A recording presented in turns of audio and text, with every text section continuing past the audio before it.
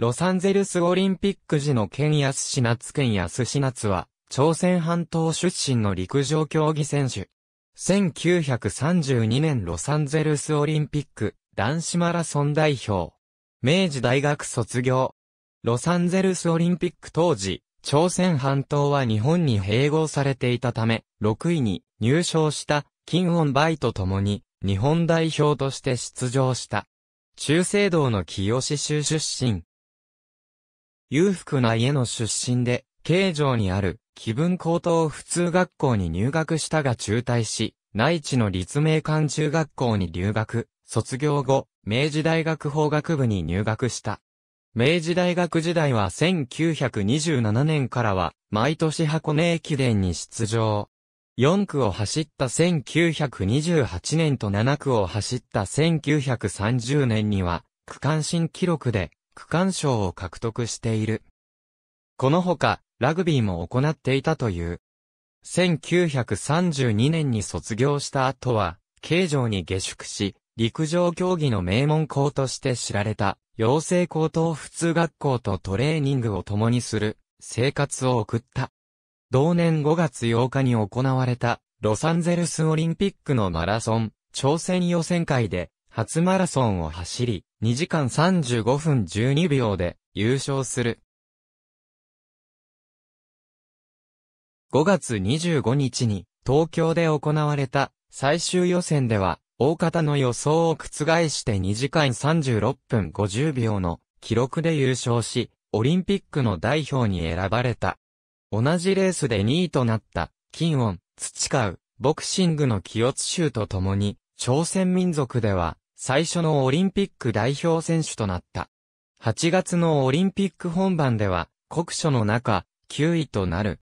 ゴールのロサンゼルスメモリアルコロシアムに戻ってきた、時にはすっかり体力を消耗し、ゴール前10メートルほどの場所で動けなくなってしまう。観客からの声援が起こる中、助けに駆け寄ったスタッフの目前で、ケンは気力を振り絞って歩き出し、ゴールすると共に倒れ込んで、単価で搬送された。このゴールの模様は観客に強い印象を与え、入賞した津田誠一郎や金音培うよりも地元メディアでは大きく扱われることになった。大日本体育協会が大会後に刊行した第10回オリンピック大会報告においても特に1ページを割いてその模様が掲載され、ゴールの箇所は、ことにあの、ゴール前の光景は、ただただ胸を締め付けられる気がするだけで、座を立つ気力もなくただ呆然と形容されている。しかし、このオリンピックでの対米中に、同じマラソン代表だった、津田誠一郎との間で、トラブルが起きる。コーチも兼任していた津田は、他の二人に対して、作戦として、自分の後ろを走るよう命じていたという。しかし、レース本番で剣と金がそれに従わなかったために、想定外のペースとなった津田は期待された成績を収められなかったという形で批判がなされた。これに対して剣は強く反発し、津田と同じ船で帰国することを拒否。そのままスポーツの強豪校であった南カリフォルニア大学に留学して体育学を専攻した。留学中にも剣は故国の陸上競技の情報を入手しており、1933年には、洋正隆博に在籍していた、孫規定を、次のオリンピック候補として推薦する手紙を、同校の陸上部に送っている。孫は後年、この手紙が、マラソンに打ち込む要因になったと述べている。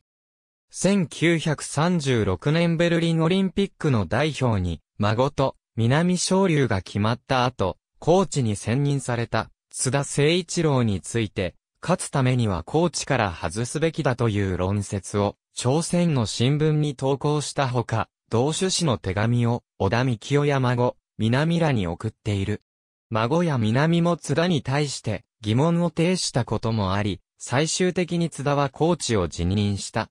孫と南はベルリンでそれぞれ金と銅のメダルを獲得した。戦後は韓国に居住。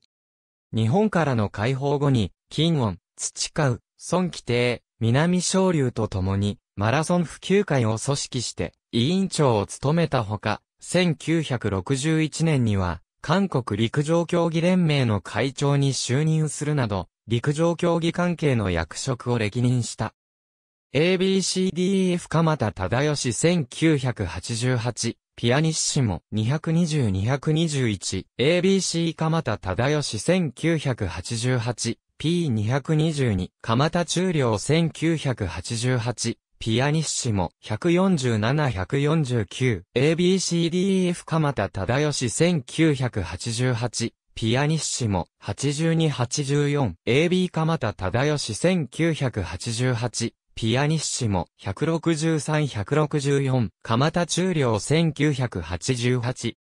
ピアニッシモ、225-226、蒲田中量1988。ピアニッシモ、226-228、蒲田中量1988。P507 大日本体育協会第11回オリンピック大会報告書1937年 P41 蒲田中量1988、P47 8485。